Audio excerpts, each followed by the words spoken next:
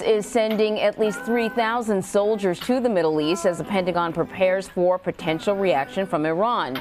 CBS News national security correspondent David Martin joins me now. David, what can you tell us? What's the latest here?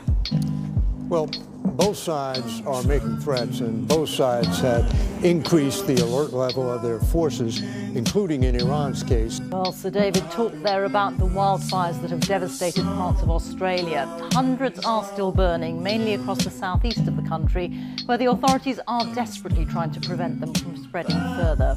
There are at least eight weeks of the bushfire season still ahead. Clive Myrie joined one fire crew in New South Wales.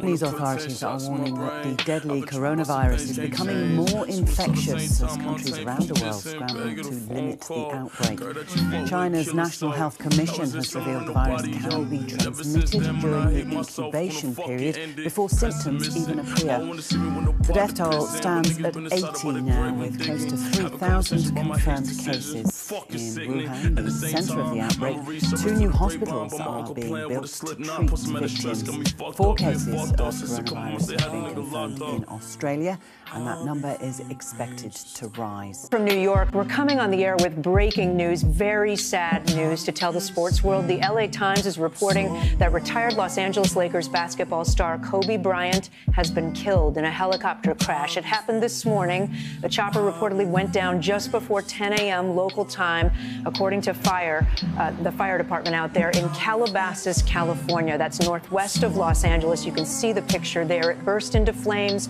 on impact, starting a nearby brush fire.